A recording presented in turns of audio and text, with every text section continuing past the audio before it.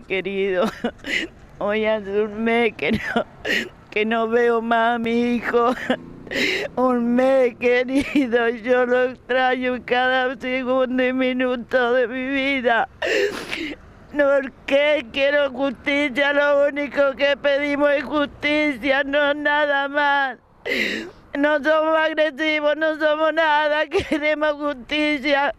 Porque si hubiese sido al revés, yo pregunto lo que hubiésemos estado pasando, nosotros no hubiésemos estado más, te lo puedo confirmar.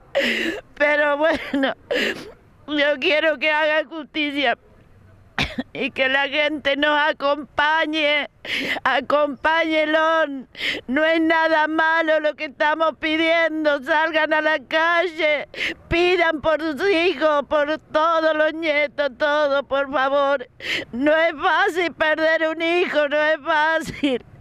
Ayúdenme, se lo pido por favor, ayúdenme a hacer justicia, nada más que la justicia venga y lo haga, por favor. Lo que están pidiendo es que aquellos que le quitaron la vida estén tras las rejas. Sí, sí, yo quiero que estén pagándola allá adentro, que estén encerrados, como está mi hijo encerrado, pero es muy distinto porque él va a estar encerrado y lo van a ir a ver. Yo lo voy a ver y nunca le puedo ver mala cara. Pero yo quiero que esté encerrado allá adentro, que pase algo, que esté allá adentro para que se sienta un poquito dolor de la madre, que sienta un poquito dolor, pero no va a ser igual que el mío nunca, nunca. Seguimos acompañándola.